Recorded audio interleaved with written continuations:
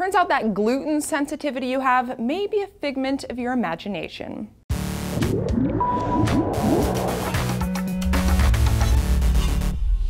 Hey guys, Tara here for D News to talk about one of the most popular trends in the world right now, the gluten-free diet. Now you've probably seen this video that went viral a few weeks ago. It features late night talk show host Jimmy Kimmel asking a bunch of self-described gluten-free people on the street what gluten actually is, and no one seems to know the answer. Part, I believe, of the wheat that Uh, I really don't know.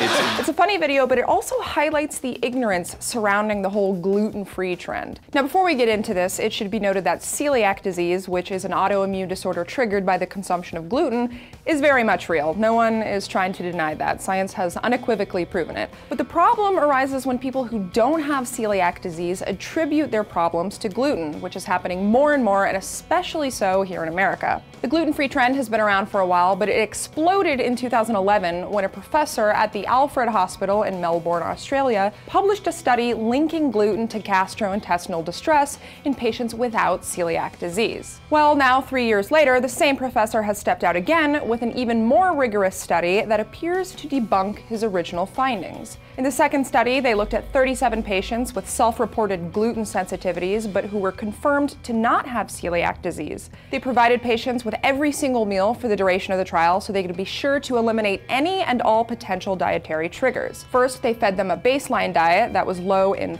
FODMAPs, which are short-chain carbohydrates that are poorly absorbed in the lower intestine. They then separated the patients into three groups, some with high gluten diets, some with low gluten diets, and some with gluten-free diets. None of the patients knew which diet they were eating, yet somehow all of them reported a worsening of gastrointestinal symptoms over the course of the trial. So they repeated the study. And this time they had patients on either a high gluten diet, a gluten free diet, or the baseline diet, which was the one that was low in FODMAPs. And still, almost all of the patients continued to report an increase in symptoms. This means that gluten couldn't possibly be the culprit here, leading researchers to believe that the real cause is psychological.